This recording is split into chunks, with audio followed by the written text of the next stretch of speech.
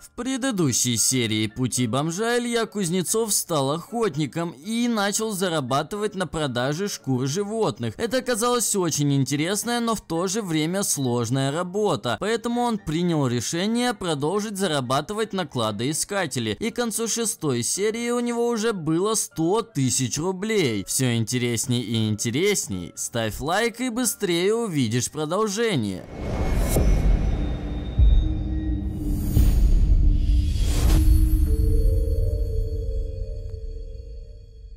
Эй, йоу, всем привет, с вами я, Рома, это уже седьмая серия рубрики «Путь бомжа», ребятки. В этой рубрике мы с абсолютного нуля с вами пытаемся достичь высот на Black Rush. Кто еще не смотрел первые серии этой рубрики, обязательно прямо сейчас кликайте по подсказке. Ну а те, кто продолжает смотреть, желаю вам приятного просмотра, запасайтесь вкусняшками, и мы начинаем, не будем тянуть, погнали! Капец он опасный, вы посмотрите на этого альфа-самца с оружием и крутой бэхой, ребятки. Мы по-прежнему с вами спавнимся у дома семьи Вилсон Тим с моей бэхой, ребятки. Точнее, с бэхой Ильи, но не суть, у нас на карманчике с вами 100 тысяч рублей. И у нас осталась еще одна очень интересная незатронутая работа на третьем уровне. Это рыбалка, ребятки. Мы на нее не будем уделять все время этого видеоролика. Просто мы сейчас съездим посмотрим что да как, купим всякие ништяки в 24 на 7 и непосредственно проверим на заработок эту работу. Но сразу вам хочу сказать, что это не очень прям такой заработок, по моему личному опыту, насколько я помню, но ничего, сейчас с вами все это посмотрим. Давайте же садимся в нашу бэху и для начала давайте отправимся в ближайший 24 на 7 и купим все самое необходимое для этой работы. Кстати, хочу выразить огромный респект тем, кто давал мне советы по работе охотника, ребятки. Теперь я понял, что мне обязательно нужна сумка, пустой инвентарь, ну и сумка, конечно же, в придачу, как вы поняли. Также мне нужно выучить некие маршруты, чтобы рубить деньги, ну и, конечно, прокачивать уровень, чтобы лучше на этой работе непосредственно зарабатывать. Ну а сейчас мы прибыли в 24 на 7, и здесь нам нужно купить удочку за 400 рублей, также снасти, конечно же, за 400 рублей, да и в принципе-то у нас вроде как все.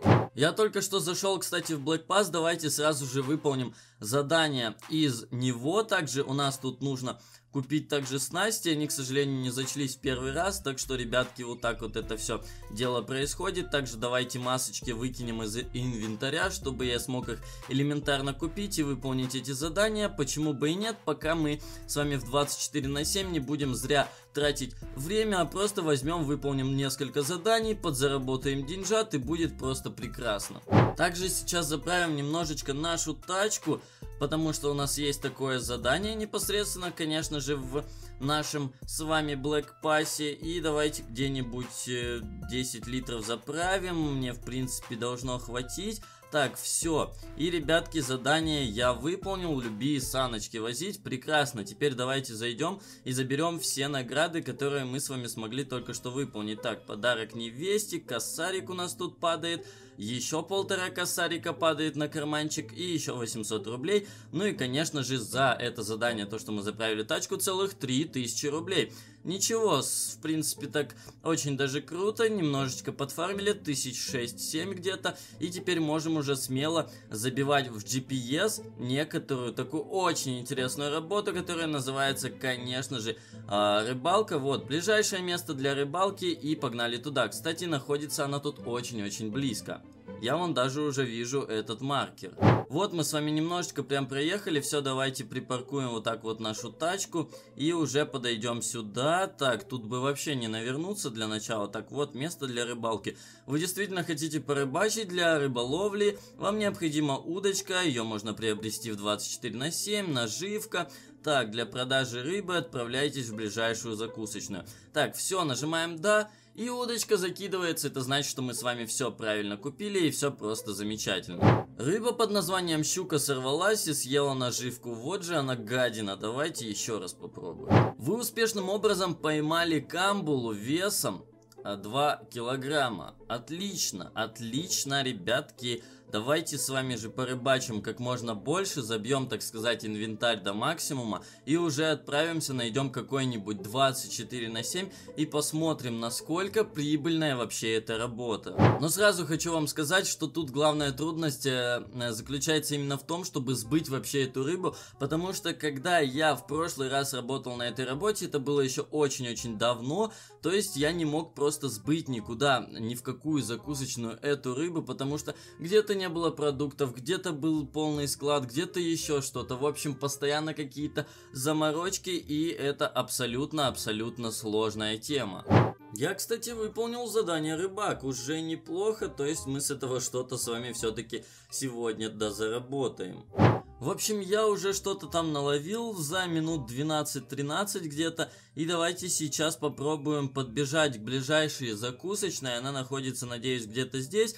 Тачку у меня, конечно же, эвакуировали спустя 10 минут, так что, в принципе, придется бежать пешком.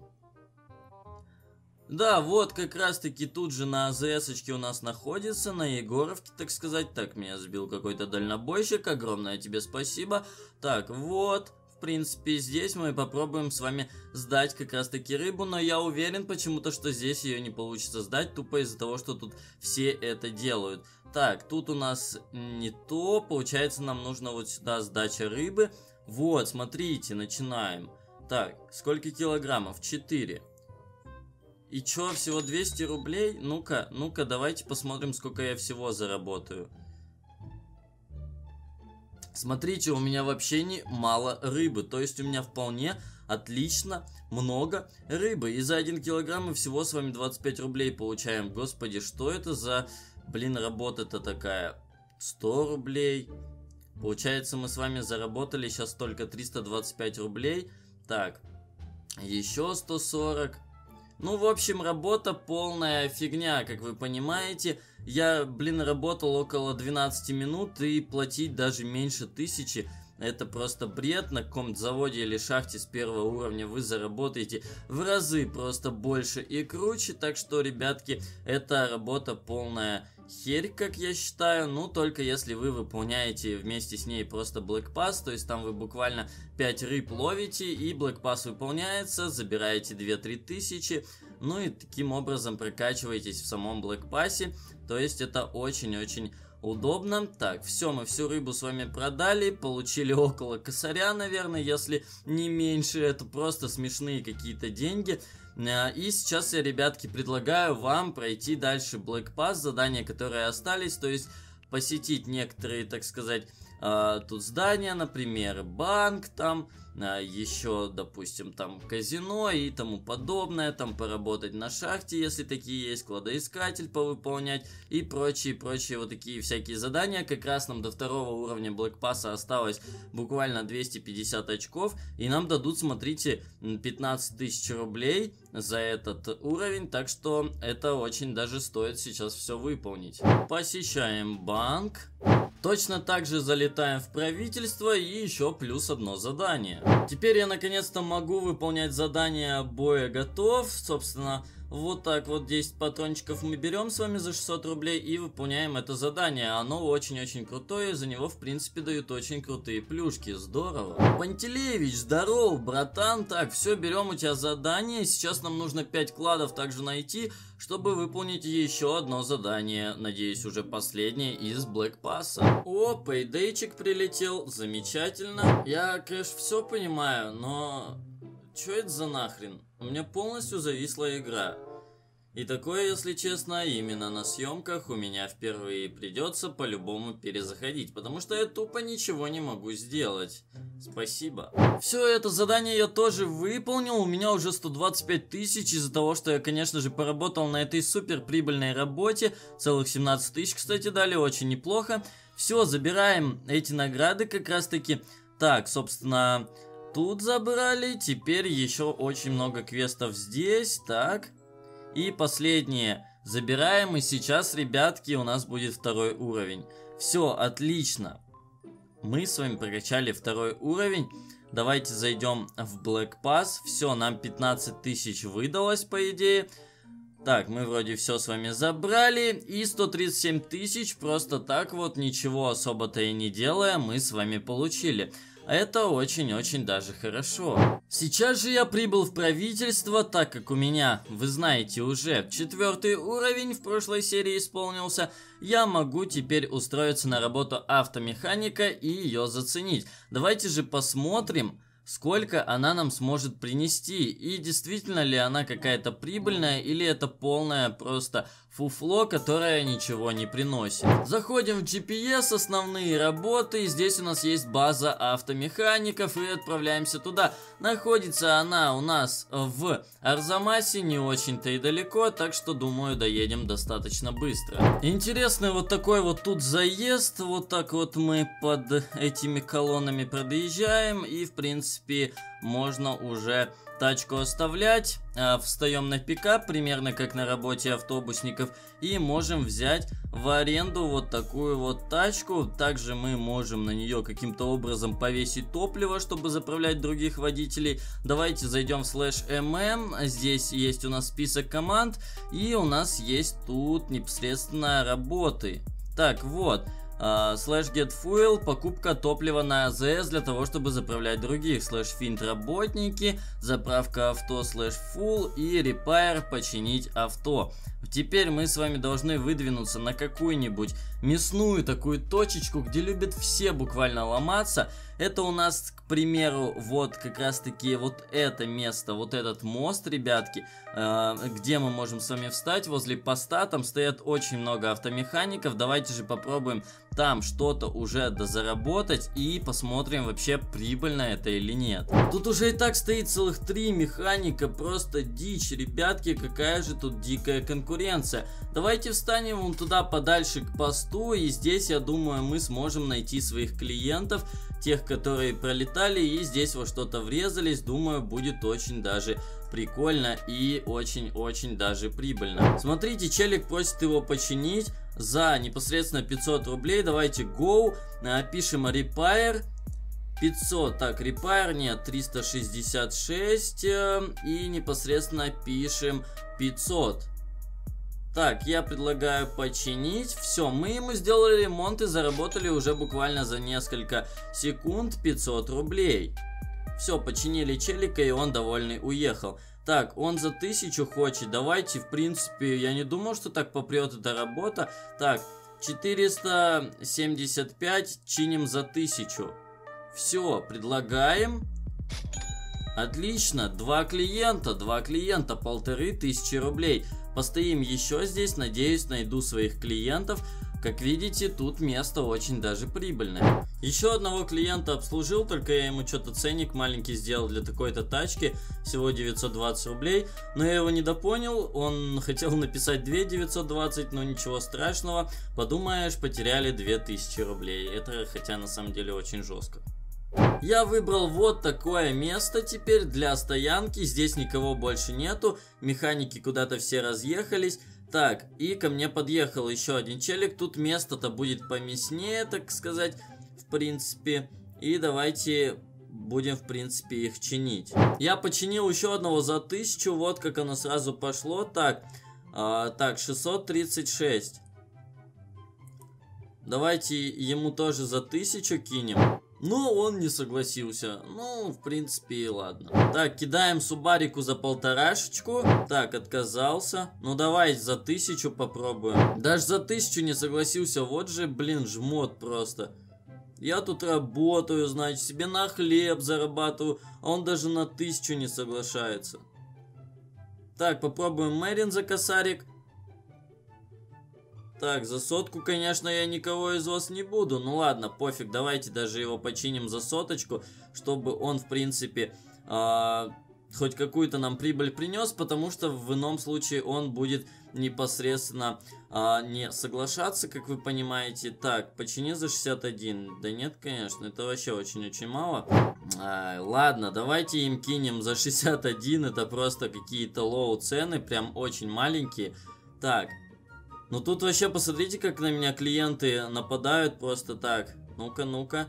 85 давайте 85 мы починим с вами за 1000. Все, за 1000 починили, отлично. Так, Дальше 603 ID. Я как будто на стриме, ребятки. Попробуем за косарик его тоже починить. Еще один косарик, отлично, ребятки, слушайте, я, честно говоря, ожидал меньше от этой работы, но если вы стоите, то есть здесь, в самом рыбном месте, и тут никого нету, у вас конкурентов, и вы ведете себя как бы адекватно, то есть смотрите, в принципе, все идет просто офигительно, good, и тачки частенько просят починить. Еще один клиент, предлагаем ему за тысячу, как обычно.